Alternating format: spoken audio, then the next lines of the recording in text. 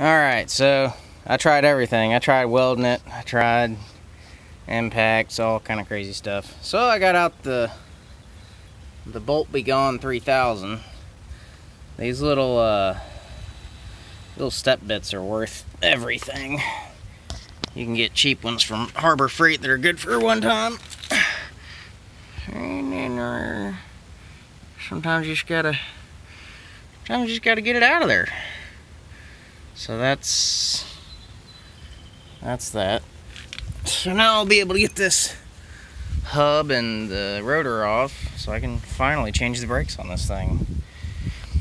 So we had uh, two of the bolts that rounded off real good and finally got one of them off with a nice impact.